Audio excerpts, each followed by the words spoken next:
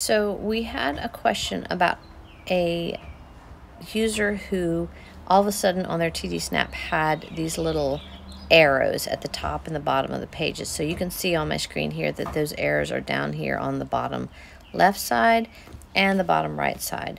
Now those arrows are here for people who are using TD Snap who are unable to swipe. So if you're able to swipe, you know if you go into one of your word lists and you have, um, you choose a page, if there's more buttons on that page, you typically would swipe up or swipe down to get to more buttons. Um, but some people can't access it, they can't swipe. So for those people, they're able to use these little arrows, which are officially called navigation buttons, and they can press the navigation button. It'll take them down to more of the same types of um, words and messages. Um, so you can go down a page, you can go up a page. Um, it allows you to move around. So let's look at why this is on here and what we can do to change it if we need to. If we go to that top right corner and select our edit button, which is the cog and the little pencil, we're going to go down to the bottom. I'm going to click these little buttons on the left side and expand this. And I'm going to go to my user tab.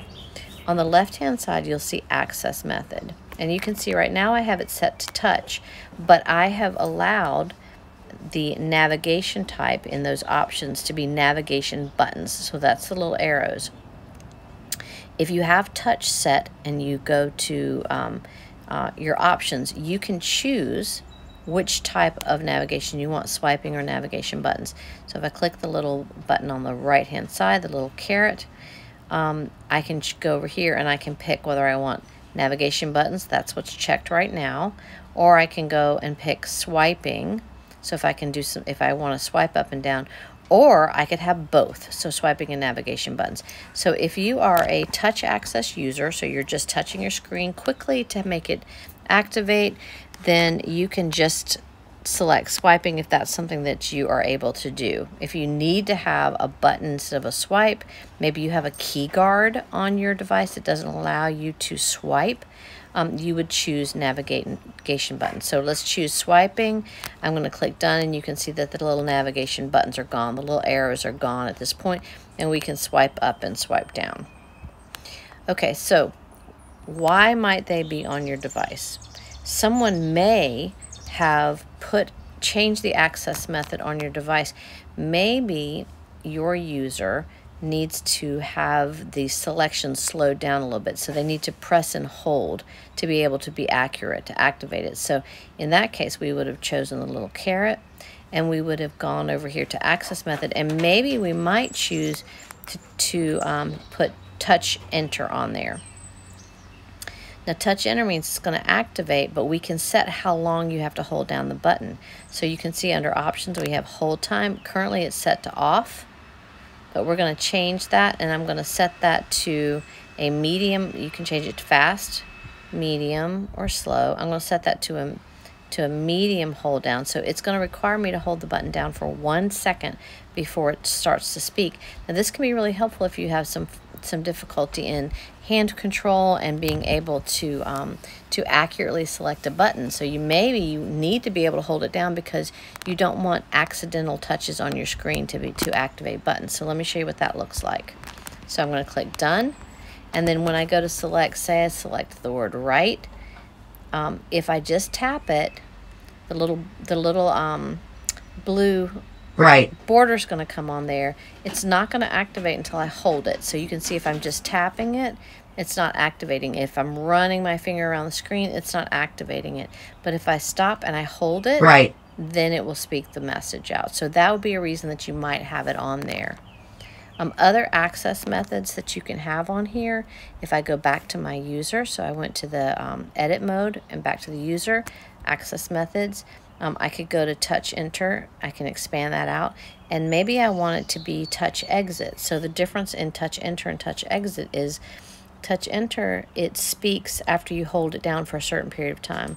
Touch exit will speak after you let go of the button. So you can drag your finger along the screen, but as long as you keep your finger down, it will not activate until you release it. So let me show you what that looks like. So if I'm on my the same page and I'm dragging around my screen. And maybe I need to do this because it's difficult for me to put my finger down and lift it back up again um, very quickly. So I can drag around the screen and nothing's going to happen. Even if I stop and hold it, nothing will happen. But the second I let go, right, it will speak. So you can see the value of that for somebody. Um, other times that you might change the access if I go to my user, set my access method. I'm going to go back again to this where it says the access method is touch exit. I'm going to click that button or touch that button. Um, it's going to give me other options. Um, you may have auditory touch. Now auditory touch works it's kind of unique. Um, basically, what it does, it gives you a little auditory preview of what the button's going to say, and we can we can change um, the volume of that or the voice of that. Let me show you what that looks like. So if I close out of my edit mode and I start to drag around,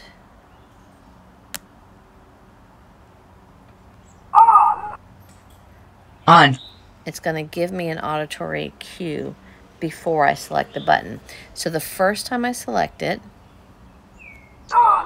it's going to speak in a, a, different voice. In this case, I've got a kind of a weird voice on there, so excuse me for that. But it'll speak it, and if that's the one I want to say, then I select it again. Done.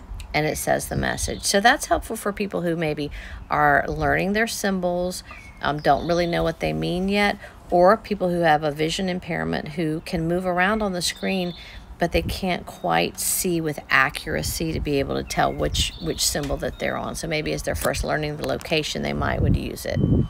Okay, other options, if we go to user and we go to access method, um, you can also have on here access method of um, eye gaze. So on I'm on my iPad right now, so eye gaze is not showing, it's not allowing me because it doesn't have the eye gaze access on it, the TD Pilot in this case. The other option is for scanning, and that's going to be for people who are using um, a switch to scan through the buttons on their page and then select. That's a whole different thing to talk about, so I'm not going to get into that. Today, all I'm going to do is I'm going to go back to touch enter. I'm going to say that I want my navigation to be swiping.